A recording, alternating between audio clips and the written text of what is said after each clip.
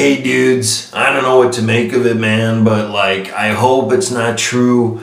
But it might be that Kate Middleton, there are pictures of her without any underwear on, dude. Now, you know, when the whole topless thing came out, man, I was all over it, dude. Like, I wrote a song about it, you know what I'm saying? And like, I did like minute by minute exposes on the story as it unfolded, you know?